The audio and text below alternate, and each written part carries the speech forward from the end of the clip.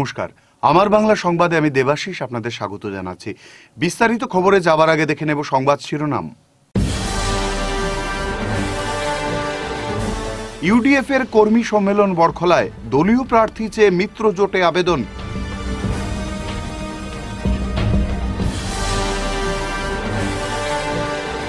বরাক উপত্যকায় শেষ ধনন্তরী সেবাযাত্রা, পঁচিশটি শিবিরে উপকৃত বহু লোক।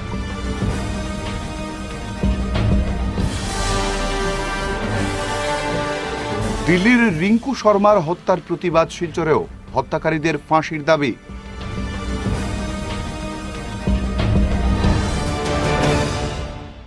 এবারে বিস্তারিত আমার বাংলা সংবাদ। বিধানসভা নির্বাচনকে সামনে রেখে কংগ্রেস, ইউডিএফ, মিত্র জোটকে শক্তিশালী করার লক্ষ্যে রাজ্য জুড়ে বিভিন্ন তৎপরতা শুরু হয়েছে। এই উদ্দেশ্যে শনিবার বরখলা কেন্দ্রের বালিঘাট এলাকায় ইউডিএফ এর এক কর্মী সম্মেলনের আয়োজন করা হয়।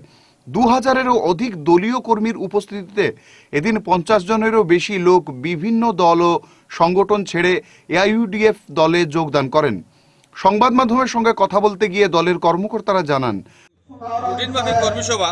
কিন্তু যেহেতু সামনে দুই হাজার একুশের বিধানসভা নির্বাচন, সেটাকে সামনে রেখে আজকে এই বিশেষ কর্মী সভার আহ্বান করা হয়েছে এবং আমরা মহাজোট আমরা ইউডিএফ দল মহাজোটের একটা অংশীদার। আমরা মহাজোটের কাছে দাবি রাখছি এটাই, যে বড়খলা আসনটাও যে ইউডিএফ ছেড়ে দেওয়ার জন্য আমরা আহ্বান রাখছি। কারণ বর্তমানে যেভাবে কংগ্রেস বিভিন্নভাবে বিভক্ত, বড়খলা কংগ্রেসের বিভিন্নভাবে বিভক্ত হিসাবে আম মানুষের মধ্যে একটা সন্দেহ, একটা মানে সন্দেহের বাতাবরণ তাদের শক্তি নিয়ে আমরা ইউডিএফকে যদি দেওয়া হয়, তে আমরা নিশ্চিত বড়খলা সিট জয়ী হব। এবং এখান থেকে বিজেপিকে আমরা বিদায় দিতে সক্ষম হব। উন্নয়নের স্বার্থে এবার বরখলা কেন্দ্রে ইউডিএফ থেকে প্রার্থী দেওয়ার জন্য মিত্র জোটের কাছে জোরালো দাবি জানিয়েছেন তারা। বরখলা ইউডিএফ দলের ভিত মজবুত অবস্থায় স্থানে আছে।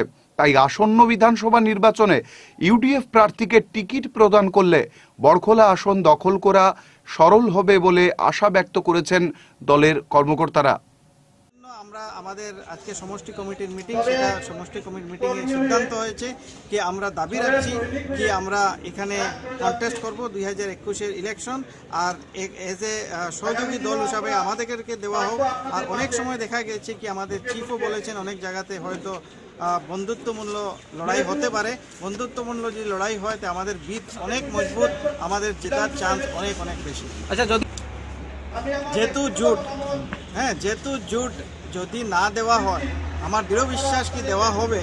কিন্তু যেহেতু জুট যদি সিদ্ধান্ত হয় আপার লেভেলে যদি সিদ্ধান্ত হয় কি এখানে কংগ্রেস না ইউডিএফ খেলবে ডেফিনেটলি এ কংগ্রেসও আমাদেরকে সমর্থন করবে। তাহলে যেহেতু জুট, জুটের নিয়ম কানুন যেটা আছে, সেটা আমাদের সবাইকে মানতে হবে।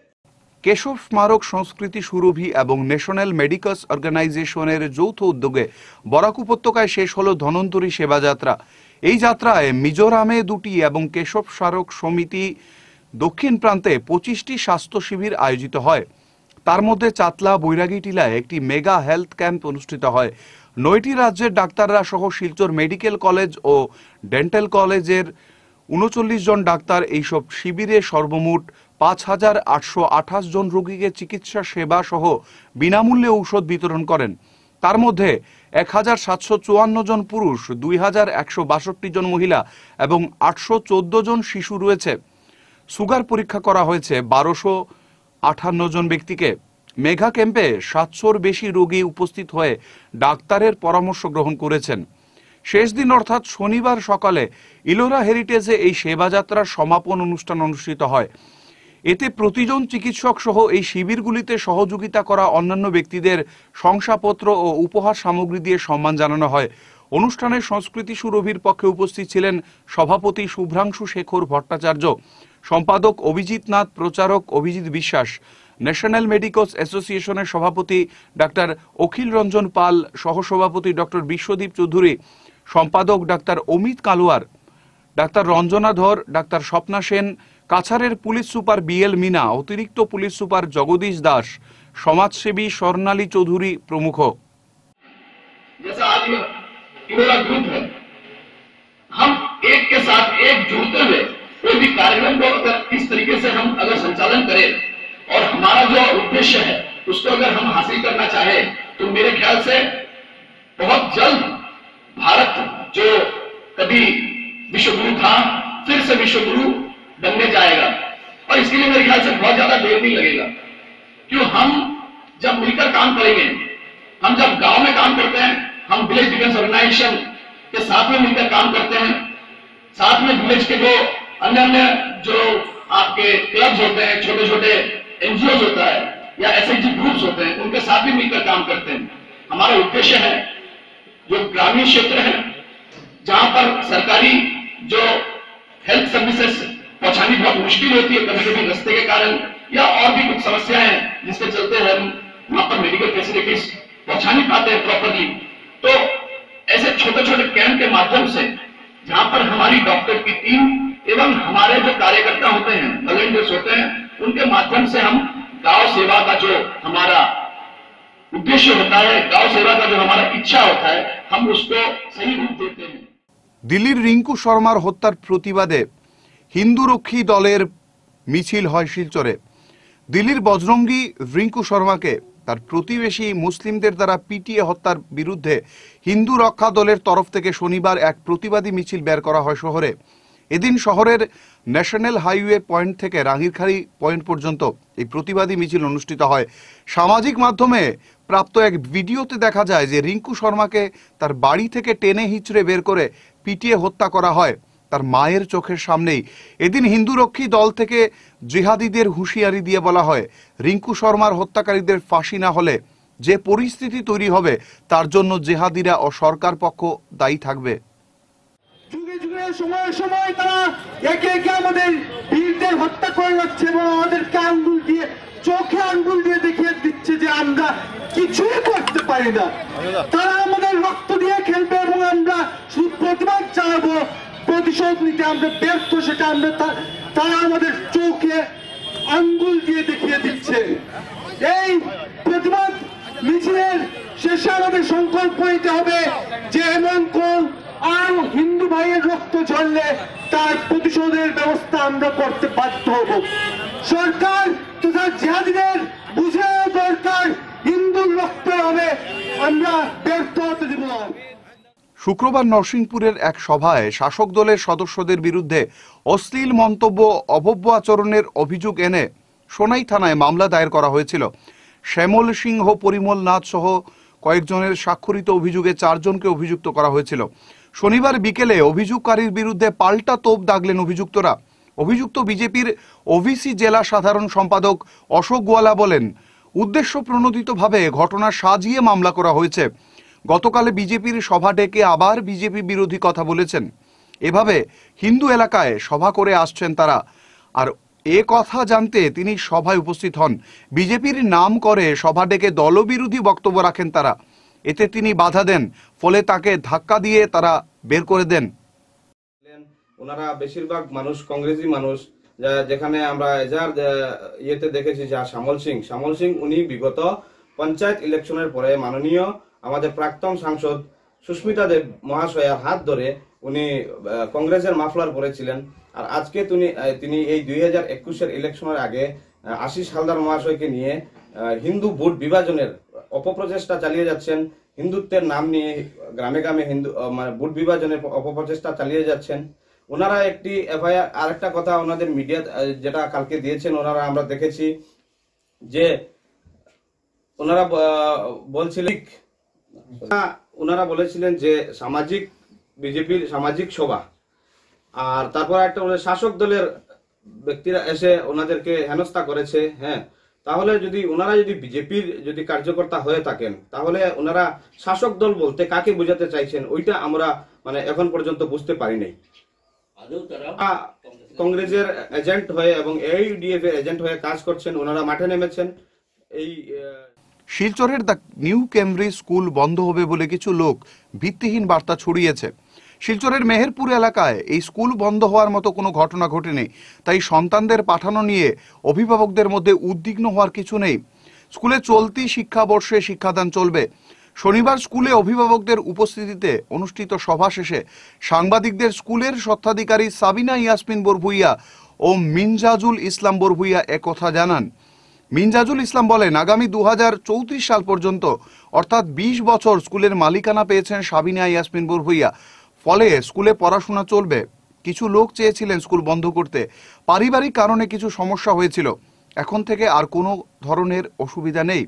অভিভাবকরা সন্তানদের স্কুলে নিয়মিত পাঠাতে পারবেন বলে জানান তিনি। আমার নাম হলো মিনহাজুল ইসলাম। যে ম্যানেজিং ডিরেক্টর নুরুল ইসলাম তাদের আমি বড় ছেলে। স্কুল নিয়ে অনেক দিন থেকে সমস্যা একটা দেখা দিছে যে স্কুলটা ক্লোজ ডাউন হয়ে যেত। আমাদের পারিবারিক কিছু সমস্যা আছিল, যার কারণে বাইরের মানুষ মিলিয়ে এই স্কুলটা বন্ধ করতে চায়।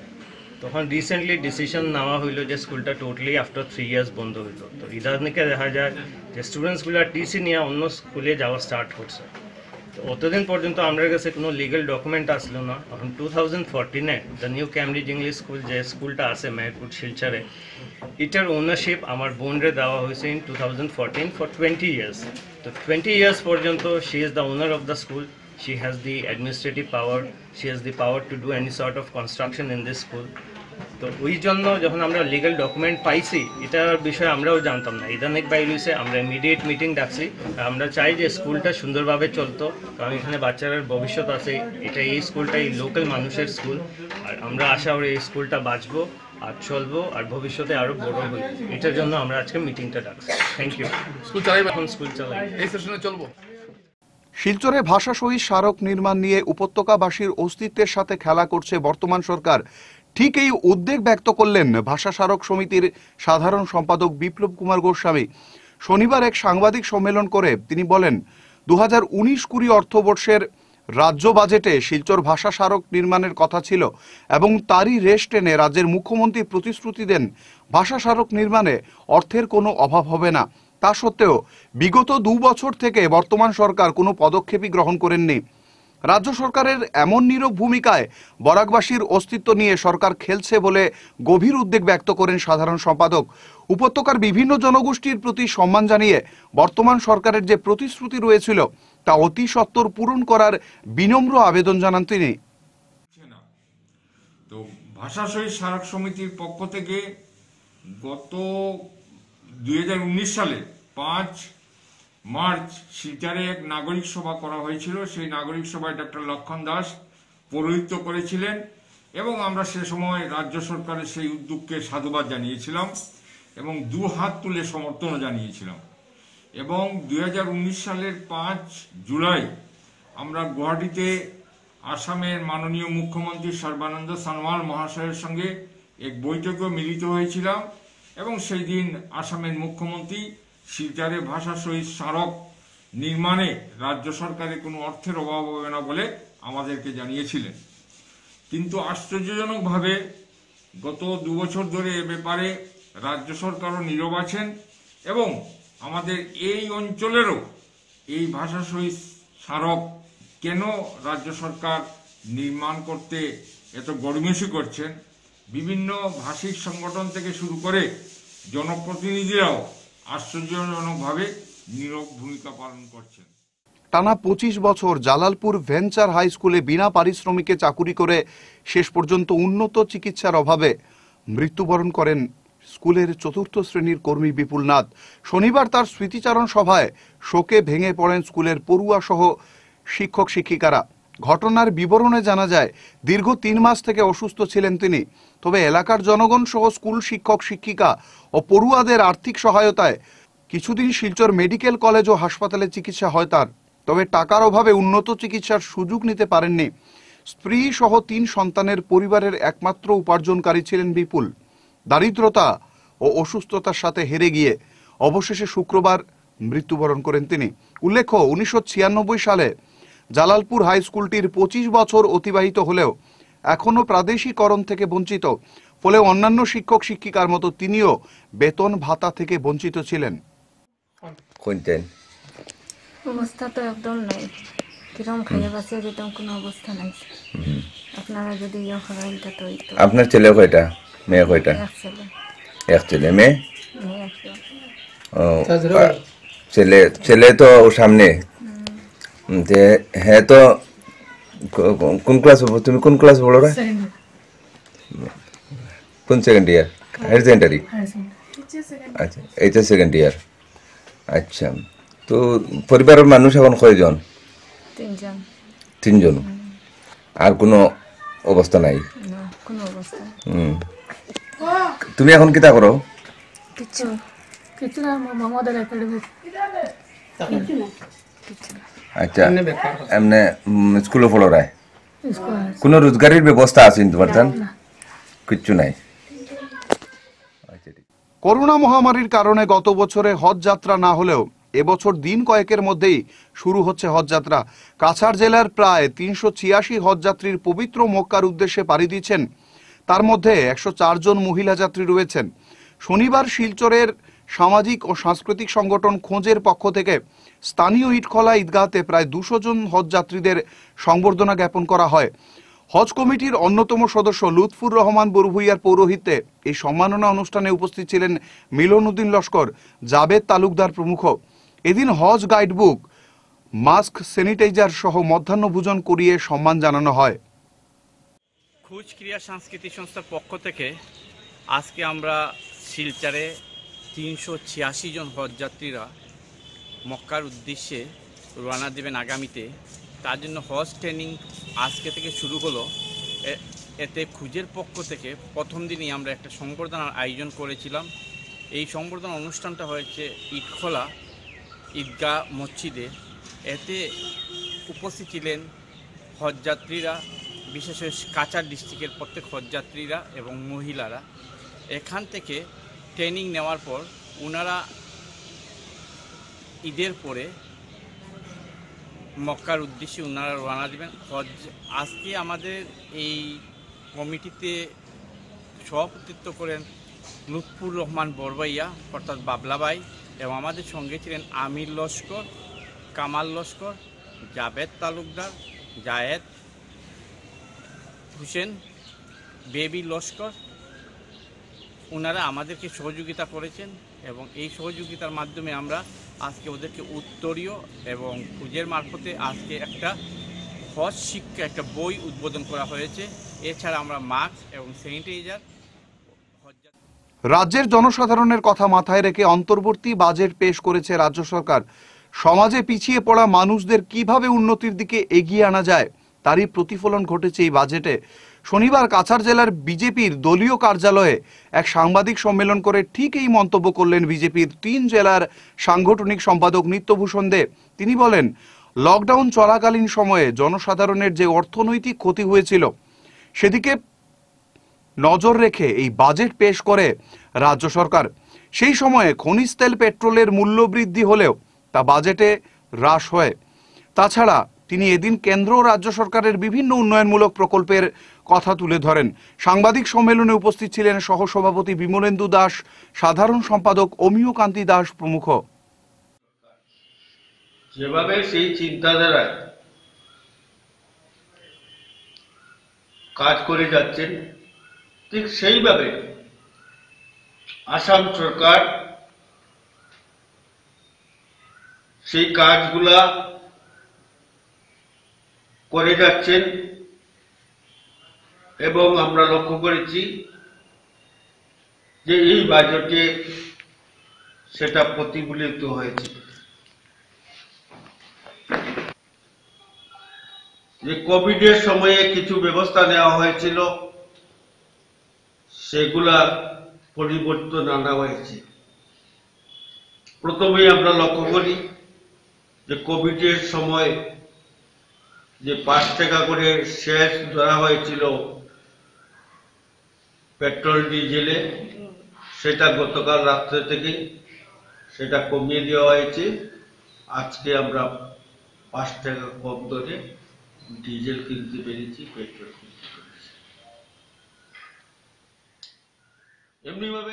শনিবার হাইলাকান্দি জেলার শিক্ষা প্রতিষ্ঠান প্যারামাউন্ট সিনিয়র সেকেন্ডারি স্কুলের দ্বিতীয় বাৎসরিক অনুষ্ঠান রবীন্দ্র ভবন প্রেক্ষাগৃহে অনুষ্ঠিত হয়। এতে প্রধান অতিথি হিসেবে উপস্থিত ছিলেন জেলার অ্যাসিস্ট্যান্ট কমিশনার, বিশেষ অতিথি হিসেবে উপস্থিত ছিলেন স্কুলের অধ্যক্ষা বনানী মজুমদার সহ অন্যান্যরা। দ্বিবার্ষিক অনুষ্ঠান উপলক্ষে ক্রীড়া প্রতিযোগিতারও আয়োজন করা হয় এদিন। পরে ক্রীড়া প্রতিযোগিতায় প্রথম, দ্বিতীয় ও তৃতীয় স্থানাধিকারী বিজয়ীদের হাতে পুরস্কার তুলে দেন বিশিষ্ট অতিথিরা। এই স্বপ্নটুকু আমাদের অন্তরে থাকবে। যার জন্য কনস্ট্যান্ট আমার বাচ্চার ডেভেলপমেন্ট তার জন্য টিচার এবং অ্যাডমিনিস্ট্রেটর তাদের সাথে আমি সম্পর্ক রাখব আমি এবার সবচেয়ে গুরুত্বপূর্ণ যারা ছাত্রছাত্রী, তাদের কথা বলছি। তোমাদেরকে একটা কথা বলছি। জীবনে বড় মানুষ হওয়া সাকসেস এক সাকসেসফুল মানুষ হওয়া জীবনের সবচাইতে সোজা। শনিবার রামনগরে ইমা লমজিং লুপের ব্যবস্থাপনায় এক সংবর্ধনা সভার আয়োজন করা হয়। এদিন সংস্থার পক্ষ থেকে মণিপুরি ডেভেলপমেন্ট কাউন্সিলের সভানেত্রী রীনা সিংহকে সংবর্ধনা জ্ঞাপন করা হয়। পরে মণিপুরী সমাজের বিভিন্ন সমস্যার দাবি নিয়ে একটি স্মারকপত্র প্রদান করা হয়। এতে উল্লেখ করা হয়, মণিপুরী সমাজের দুস্থ পরিবারের ছেলেমেয়েদের পড়াশোনার জন্য সরকারের পক্ষ থেকে আর্থিক সহায়তা সহ এলাকায় বিশুদ্ধ পানীয় জল ও অন্যান্য দাবির কথা তুলে ধরেন তারা। এদিনের সংবর্ধনা অনুষ্ঠানে বক্তব্য রাখতে গিয়ে রীনা সিংহ বলেন ইমা সংস্থার মাধ্যমে আমাদের মণিপুরি ডেভেলপমেন্ট কাউন্সিলের চেয়ারপারসনরে একটা ফেলিসিটেশন করার যে প্রোগ্রাম আয়োজন করা হইতেছে। এই প্রোগ্রামে আমি এসেছি। বিশেষ করে আমাদের যে মণিপুরের বাইরে আমরা আসামে যারা মণিপুরি বসবাসকারী আছে আমরা, আমাদের উন্নয়নের জন্য এই একটি কাউন্সিল এখানে আপনাদের আমাদের মণিপুরি সমাজ এখানে যেভাবে হোক মানে উন্নয়ন করাতেই হলো এটা মুখ্য উদ্দেশ্য। আর বিশেষ করে মণিপুরি ডেভেলপমেন্ট কাউন্সিলের মারফত আমাদের যে লোক মণিপুরি সমাজের যে আমার নবপ্রজন্ম আছে, ওদেরকে ডেভেলপমেন্ট করা কীভাবে, এটাই নিয়ে আর আমাদের সরকারের যে উদ্দেশ্য আছে, যে সব একদম পুরো উন্নয়ন সব জায়গায় সব সাথ সবকা বিকাশ এবং বিশ্বাস নিয়ে যেটা মোদিজির আই আছে বক্তব্য এর মধ্যে উন্নয়ন করাই হলো মুখ্য উদ্দেশ্য মণিপুরি ডেভেলপমেন্ট কাউন্সিলের শেষ করার আগে বিশেষ বিশেষ খবর আরও একবার। ইউডিএফ এর কর্মী সম্মেলন বরখলায় দলীয় প্রার্থী চেয়ে মিত্র জোটে আবেদন।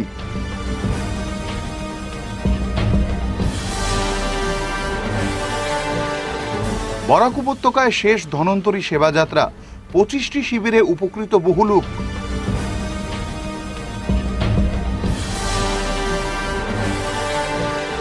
দিল্লির রিঙ্কু শর্মার হত্যার প্রতিবাদ শিলচরেও, হত্যাকারীদের ফাঁসির দাবি।